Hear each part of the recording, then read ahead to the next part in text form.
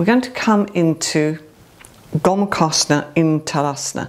So this is cow face pose and you may need a belt for this. So we're going to take the left arm out and see, can we help it to just maybe come up a little bit and then stretch up with the right arm and then you can catch hold of your belt or maybe you can catch hold of your fingers so that we're in this action. Okay, so let's try doing that together. Place the belt over your right shoulder. Have the inner edges of the feet together, toes spreading, weight down into the outer foot bones. Make sure that you've got contact with the little toe side of your foot. And then we're going to stretch out with the left arm. Just have it slightly below shoulder height and create space. Now if there's any problems in that shoulder with uh, rotator cuff injuries or whatever, just keep that arm stretched out, don't take it up the back. So you turn it and take the back of the palm into the center of the spine and then just use your right hand on your left elbow to gently encourage it. So we don't want to force these um, muscles and joints into doing poses that they're not quite ready for yet. You can gently encourage it to lengthen but don't overdo. Then stretch up with the right arm, bend and catch your belt or catch your fingers. Keep the weight back into the heel bones.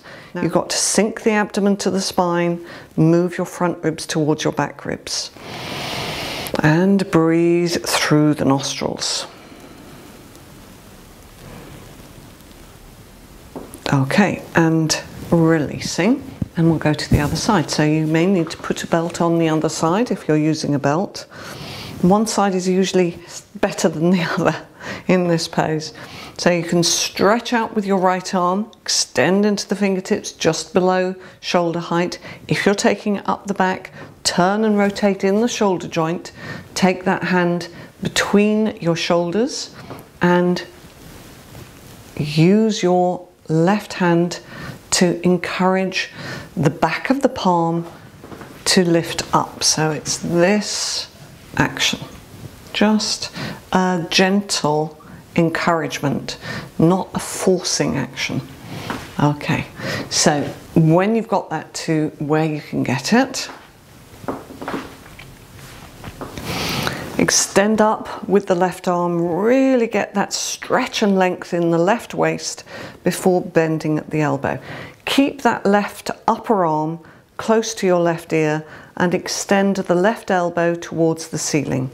Extend the right elbow towards the floor and move in with your dorsal spine, but don't let your lower ribs pop forwards when you're doing that.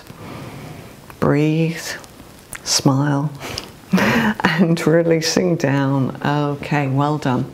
So I'll just show, just moving my audio equipment around a little. We're going to turn the arms and stretch them up by the ears. So let's do that together. So if you have a knee, hip or back problem, you step your feet apart. Otherwise, jump. Toes facing forwards, pressing down into the outer foot bones, stretching out into your fingers, opening your chest and breathing into the space that you've created in your chest. Fine inhale, ex exhale through the nostrils. All right, now we're going to rotate the arms at the root. So turn the arms. It's not just the palms that's turning, you're turning right in the shoulder joint. Lift your kneecaps, lift your thigh muscles, lengthen your tailbone down, move your front ribs to your back ribs. Inhale, extend the arms up by your ears. So stretch into the fingertips, open out in the armpits, Really pressing firmly into those outer foot bones, lifting your chest, lifting your frontal pelvic bones. And now take the arms down and release out of the pose. Step or jump the feet back into Tadasana and breathe and steady. Okay, so here we're going to use a chair. We're going to come into a Bharadvajasana twist on the chair. Now, if you don't have a yoga chair, really don't worry about that. We can work on a dining chair. if it's got a bit of a dip in the seat, then put a cushion or something in there to lift the seat up a little. So we're turning in Bharadvajasana twist to our right to start with and then you can swivel yourself around or turn the chair around to come to your left. So start out with the feet together, knees together, press your hands down onto your thighs and lift your chest. So we're lengthening and extending in the spinal column. Breathing into the space that we've created, take the outer tips of the shoulders back. So keep that length and extension. Inhale and turn towards the back of the chair. So hold on to the back of your chair. If you don't have a chair, you've only got a stool, you can always do this and turn to a wall. Those of you with the yoga chairs, you've got to be careful that you don't slip and slide on the yoga chair because we're just using the back of that chair to turn the waist, to turn the spine, to revolve. Don't overturn the head. Let the shoulders release down away from the earlobes. Extend the crown of the head towards the ceiling and keep pressing firmly into the floor with your feet. Okay, releasing and changing to the other side. So either you turn yourself around or you turn your chair, turn your chair around. So again, pressing down with feet, lifting up with the chest breathing into the space, turn towards the back of the chair. Now relax the shoulders down. Release the sitting bones into that chair. Imagine your inner knees are super glued together. So feet pressing into the floor, knees together, inhale. Lift your spinal column, exhale through the nasal passages and turn. And again, inhale and lift. Exhale and rotate. It's a very strong action, so don't overdo. The chair is not going to move. The only thing that will move is your body. So you don't want to over move your body if it's not quite ready for that just yet. Okay, and releasing out of the action. So we're going to come now for some Marichyasana twists on the chair and I'm using some foam pads in front.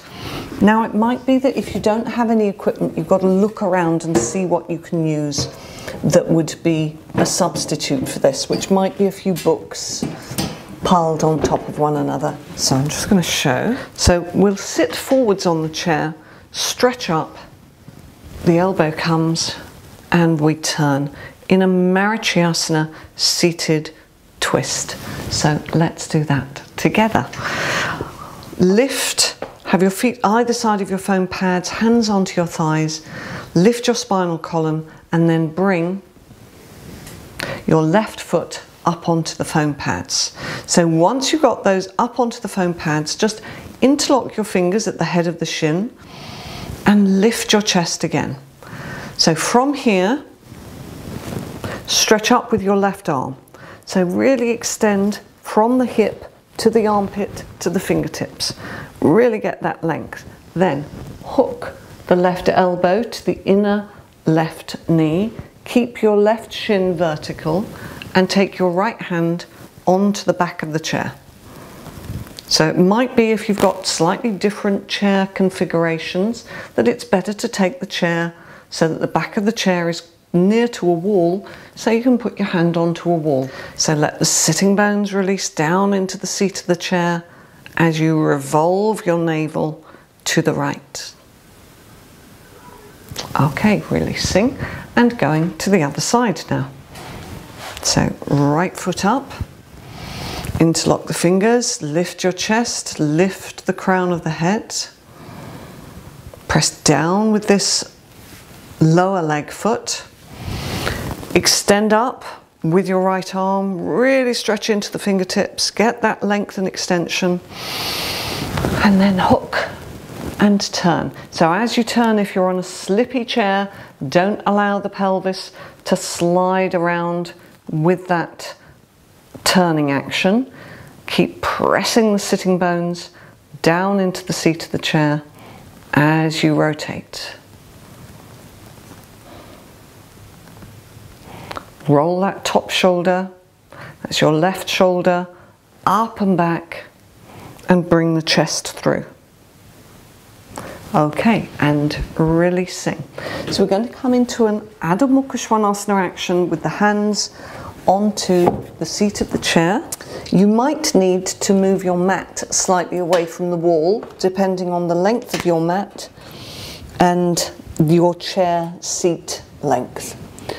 So here, I'm stretching back. You've got to lift the frontal pelvic bones and lift the abdomen. You don't drop. I'm just going to show dropping, which is the incorrect action. That is dropping, all right?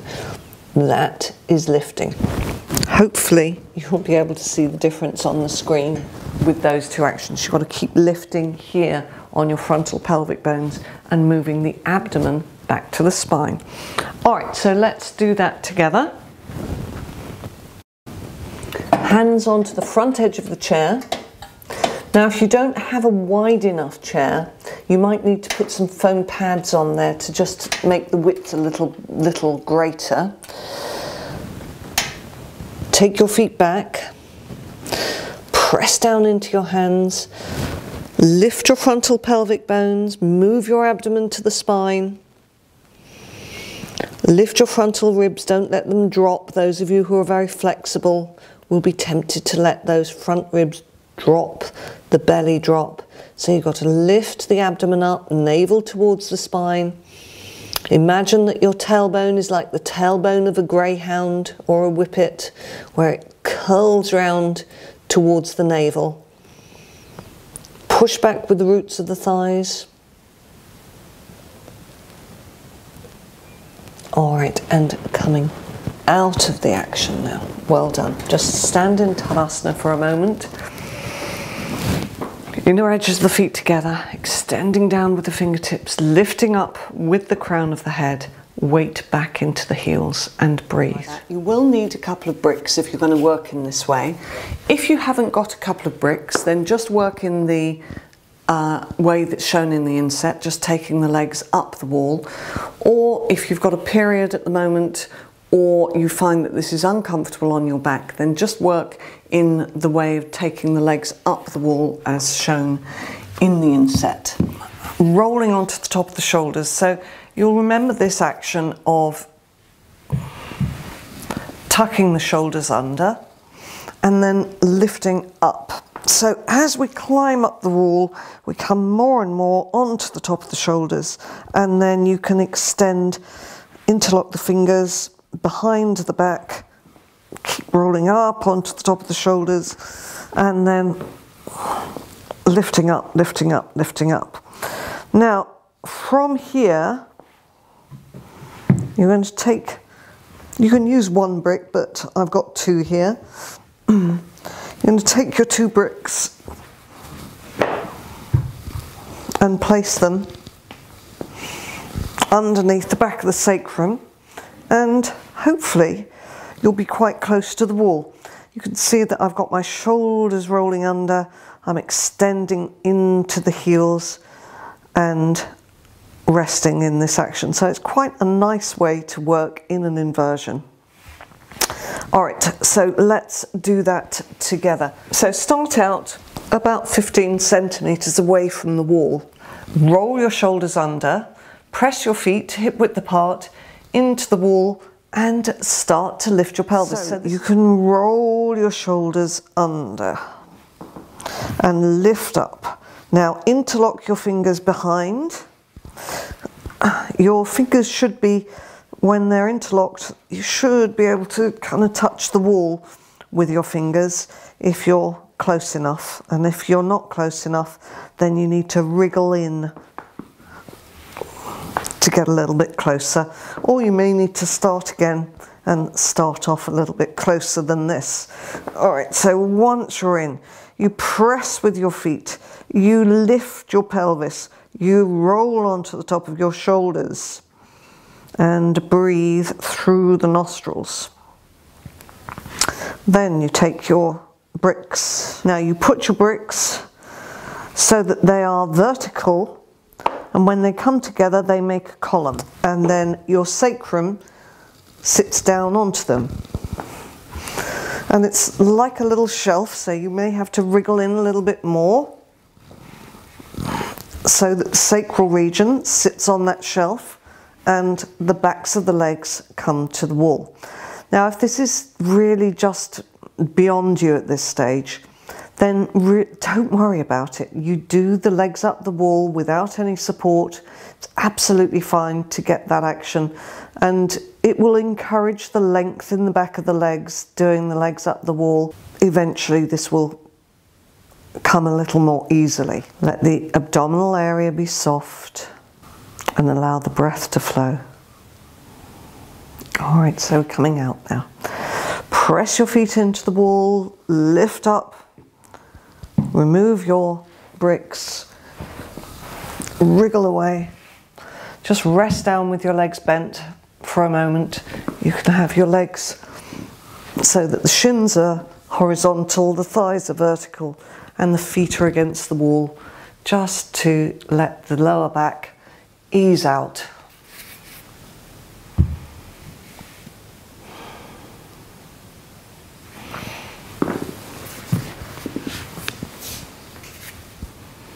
And then when you're ready, roll to the right and coming up. So we're coming now for our Shavasana relaxation. You can use a bolster underneath your knees, you can use a blanket underneath your head. You lie down on your mat. Those who don't need anything, you can just lie down flat onto your mat. If it's cold, then put some extra heating on or put extra layers on. Put on some socks. Put blankets over you if you need to have more warmth.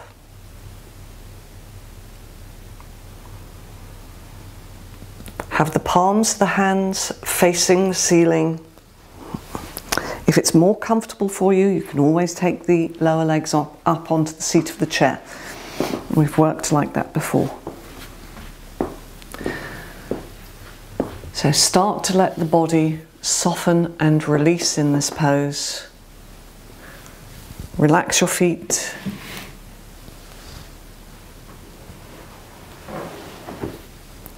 Release your legs. Done a lot of work on the abdomen, so let the abdomen soften and settle. Let that abdominal area feel broad.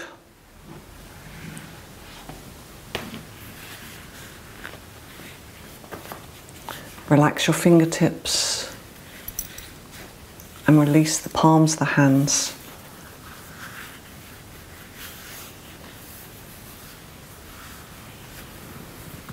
Let the whole body release to the floor.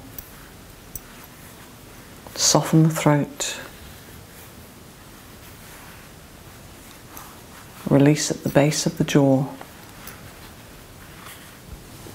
Relax your tongue. Soften around the eyes.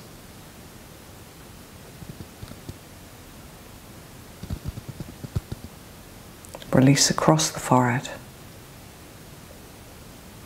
and observe the breath.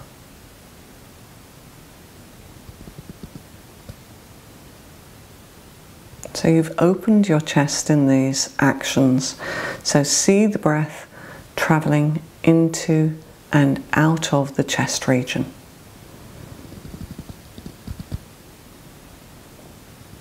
So I am going to leave you in your Shavasana now I'd like you to do at least a three minute Shavasana, five or ten minutes if you've got the time to do it, but just feel the body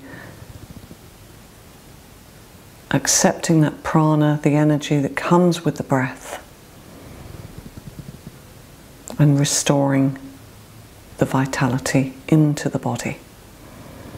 So, thank you so much for joining me today. I do hope you enjoyed the practice and I look forward to seeing you again next time.